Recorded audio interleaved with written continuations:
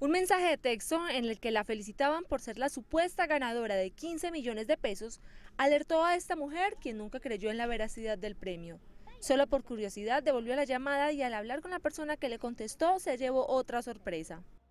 Yo le dije que no tenía minutos, entonces recarga dos mil pesos y te vamos a recargar, bueno, ya después de tanta carreta, que recargara dos mil pesos, que ellos me, me cargaban 100 mil. Entonces hoy, ya cuando dijeron de la recarga, ya ahí sí me entró toda la duda totalmente. La modalidad, según las autoridades, es una de las más empleadas desde las cárceles del país. Muchos comentarios que se creen que esas estafas vienen principalmente de la cárcel, de las cárceles principalmente de la de Pedregal.